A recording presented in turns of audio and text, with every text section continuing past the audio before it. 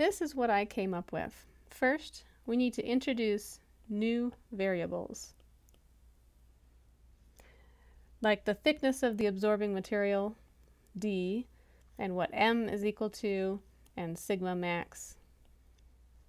Second, we need to introduce new arrays.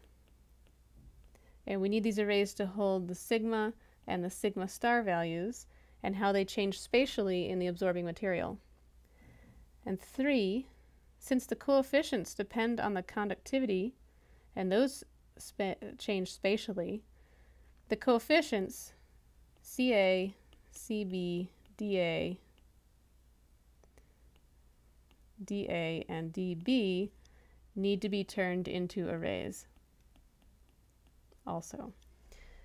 And four, we need to test how well the absorbing layer works. It's a bad idea to implement it and just assume it's working if we don't visually notice a reflection from the left edge of the grid. It's better to actually numerically show how the absorbing layer is working and how little the reflection is.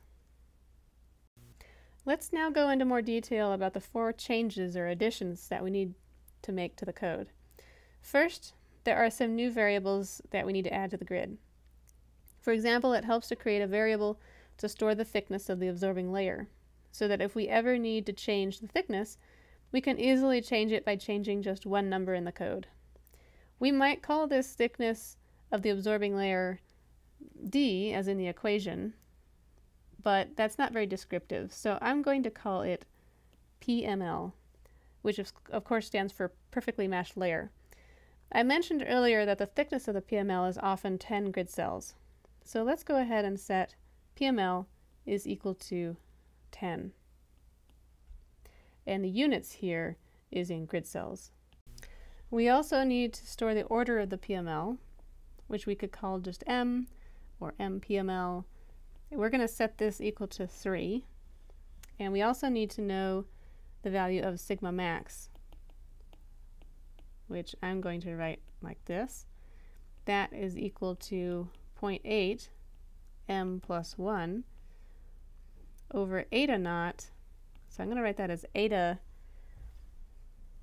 and delta x, which is delta in our case, and divided by, this, or times this in the denominator, multiplied by square root of mu r epsilon r.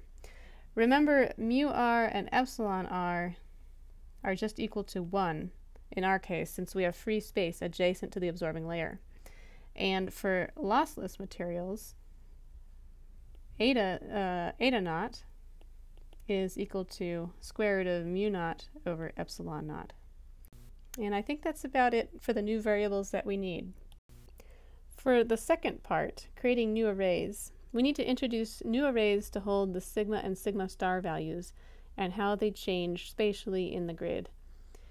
Let's first consider sigma. We want sigma to vary according to this polynomial grading. D in our case, we've called PML, is the thickness of the PML. Then, since the denominator is in units of grid cells, grid cells, then to be consistent, we need the numerator to also be in units of grid cells.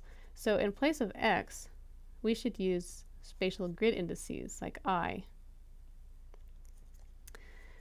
If we do that, then we have sigma i is equal to i over PML, those are both in terms of grid cells, to the power m times sigma max. So will this work? Well, let's think about the orientation of this sigma array versus our grid. Right now, as i increases, how does sigma change? Right now, as i increases, so as we move to the right in the grid, sigma will also increase. So we have something like this, and this is sigma max. So this is a plot of sigma. So the conductivity in our grid is increasing until we get to the edge of the absorbing layer, and it's the highest. Is this what we want? No, we need to have actually the reverse of this. We need the conductivity to increase slowly from the air region over here to sigma max at the left edge. And now we don't have an abrupt change in sigma at the air absorbing boundary inter interface. So how can we change this in our expression? First, it helps to figure out over which eyes we want to have the PML. We still need to have a PEC here on the edge because we can't update the EZ1 component using regular updates. So this means in order for the absorbing layer to be PML cells thick, the EZs from i equal 2 to PML plus 1, let's say that's over here, 1, 2, 3, 4, 5, 6, 7, 8, 10. All right, so this would be 10, that's PML. But in order to have 10 components, we're going to have the PML go from 2 for the E components to PML plus 1. So this region should constitute the absorbing material.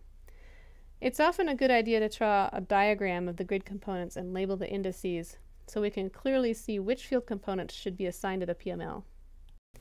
Now we want the smallest sigma value to be at PML plus 1.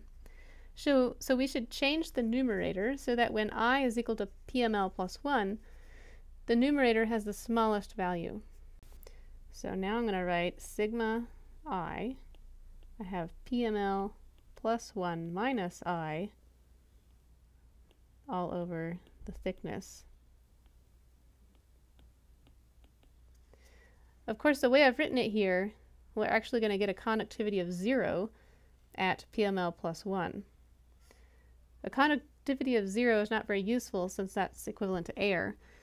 Instead, if we change it so that a conductivity of 0 occurs a half of a cell to the right at the location of the HY component, then this EZ component at PML plus 1 will be one half of a cell into the absorbing material.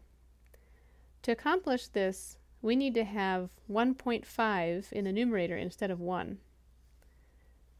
So if I do that,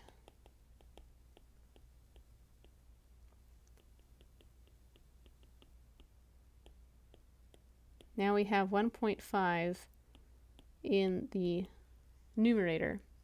So now when i is equal to PML plus 1, the numerator will be equal to 0.5. So we'll have 0.5 over PML to the power m sigma max at i equal PML plus 1. Now let's re-examine the denominator of this equation. We previously defined the thickness of the absorbing material to be PML cells thick. But if we critically consider how thick the PML is now, that we put the EZ component at I equal PML plus 1, and one half of a cell into the PML, now the PML is closer to PML plus 5 cells thick. So on the next slide, I'm going to show that this is actually shaded in because we wanted this component to be half of a cell into the PML. So now our equation, the final form of our equation, is going to be PML plus 1.5 minus i in the numerator over PML plus 0.5 in the denominator to the power m times sigma max. These values should only be used when defining the CA and CB coefficients for the EZ component for i equal 2 to PML plus 1. Now, what about sigma star? See if you can develop a loop to define the sigma star array to be used in the dA and the dB coefficients in the PML. Also define which HY indices the we need to define sigma star in the PML.